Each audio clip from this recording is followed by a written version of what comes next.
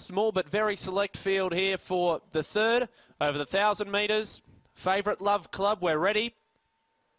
Racing now.